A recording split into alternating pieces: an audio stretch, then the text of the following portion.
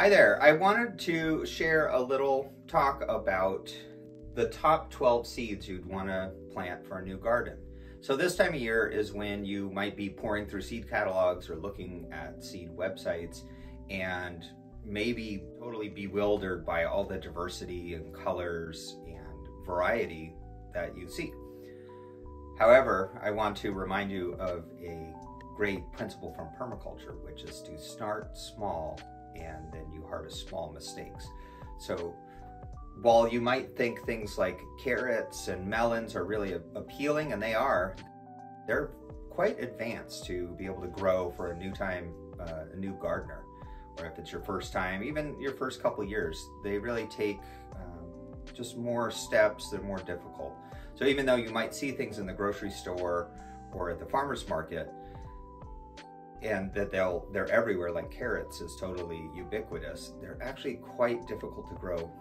By and large because the seed takes a long time to germinate you have to direct seed it and the seedlings grow very slowly and they're difficult to differentiate from the weeds.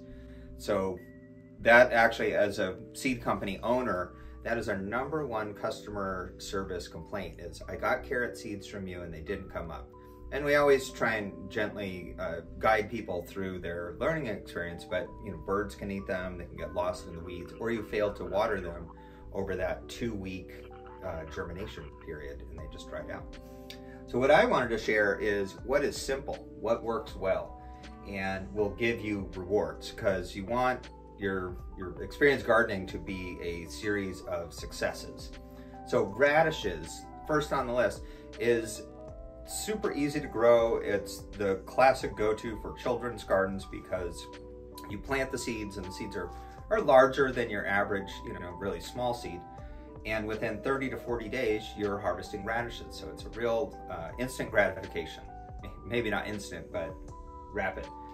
And you can continue to plant them and um, have continual harvest. And while you might not eat radishes in other parts of the world or people who are growing more of their own food, really rely on them to fill in the gaps between other crops. So one of my favorite ways to do radishes when they're in season is to slice them thinly and chop up some cilantro and squeeze some lime juice on it, maybe a little balsamic vinegar, and it's incredible. You can mix it with other things, but as a side dish, uh, they're, they're wonderful that way.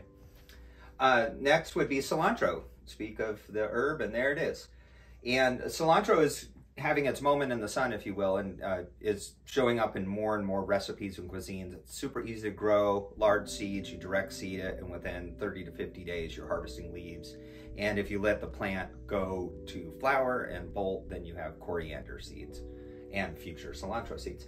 Arugula is another really fast growing herb, and again, it's becoming more popular, I think, with the advent of the baby leaf arugula showing up in lots of grocery stores. You can grow your own, and it's about 30 to 40 days from seeding to where you're cutting the first leaves that might be two or three inches tall, and you could successively harvest that or thin them out and have a continual supply of wonderful salad. And speaking of salad, is lettuce, and that's a fairly easy to grow. You can direct seed it and just harvest the leaves as like baby leaves for salad or space them out six to 12 inches and let them grow into heads. Zucchini is the classic uh, overabundance element of a new garden, but that really is a blessing in terms of its uh, productivity and really being able to grow a lot of food. And it also compels you to explore new recipes for utilizing all the fruits. Green beans are kind of in that same category and the green beans you can pick right out of your garden fresh at the right stage are so tender and sweet and delicious, whereas oftentimes the ones you get in the store, they've been sitting around for too long and um, or, maybe have gone over mature. So green beans are one that two we typically will do successive plantings to have a continual harvest. Kale, uh, you can grow from direct seed or grow it as a transplant uh, either way really works, but the beauty of kale is it thrives in the cool weather, whereas uh, zucchini and green beans uh, require warmer weather to produce. Where kale, if you plant kale, let's say late summer, you'll have it all fall, all winter, all spring, and even into the beginning of summer before it bolts. So it really provides food for a full year for you. Uh, and then you've got an abundance of dark leafy greens that is going to compel you to incorporate it in all sorts of recipes, whether it's eggs or soups or chopped up pine for a massaged kale salad. Cherry tomatoes are another classic one, kind of like green beans, where they're best enjoyed right in the garden. Tomatoes, they're further down on this list here because you really can't direct seed them. The seeds are really small. They require temperatures of at least 70 degrees Fahrenheit to sprout. So you're gonna wanna start them indoors, like in a sunny window. You can use old egg cartons, fill it with potting soil. That's a really low tech. We'll have other videos you can see in the video description below talking about how to make potting soil and how to start seeds. But there's nothing quite like being in a summer garden and picking cherry tomatoes fresh and just eating them right off the plant. Peas are kind of like that too, and this is like the cool season version of cherry tomato tomatoes. And peas, the sugars in the snap peas, the edible pod ones, begin converting to starches really rapidly. So even if you get, you know, quote unquote, fresh ones from the market, they've been off the plant for at least a day and they're never going to be as good as when you eat them right off the vine. So you can direct seed peas. Here we'll do our first planting in February and we can do February and March and again a fall planting that we can do in August. And there's bush varieties and trellised pole varieties and I suggest planting some of each. But the bush ones are easier.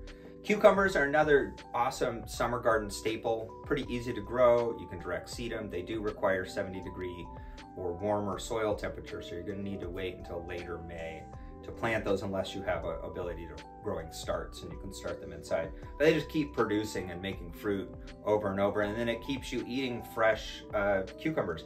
My favorite way to enjoy cucumbers lately has been to slice them up and sprinkle them with Tajín, which is a mixture of salt and dried chilies and lime. And it takes them from a nice snack to a gourmet delicacy.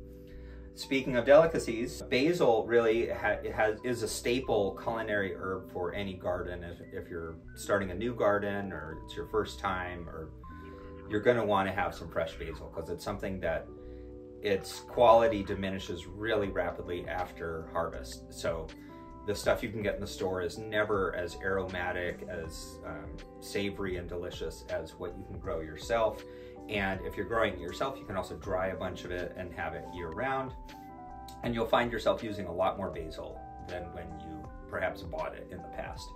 And down at the bottom, I put broccoli on there, and that is a bit of a more advanced crop to grow. You really can't direct seed broccoli, so you need to grow it from starts. But the beauty of growing it in your garden as opposed to buying it in the stores in the store all you ever see is the uh, what we call stalk leaf you know it's mostly stalk and a little bit of a head. But when you grow it yourself after you harvest that main head you'll get a profusion of side shoots particularly if you grow one of the heirloom or open pollinated varieties because they'll produce for a much longer maybe even the whole summer if you keep those side shoots picked. And they're really more tender and more flavorful and have more nutrition in them than the, the stalk of the typical commercial broccoli. So down in the uh, video notes, I'll also put a link to, we I made a chart with classifying most of the common garden crops as easy, medium, or difficult. And I think that's a really good starting point. And I, again, encourage you to do what's easy and build a foundation of small successes and grow food for yourself and your family and grow beauty for the whole world. So thanks.